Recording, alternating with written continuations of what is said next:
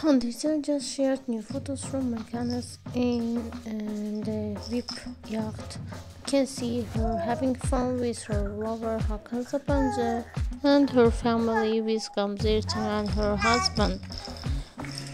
But her sister's family uh, went away and came back to Turkey and they stayed with Hakan Sabancı and his friends. Last year also they went to my Mykonos and had fun in the clubs. Uh, this year again they went to this place and having fun with their friends.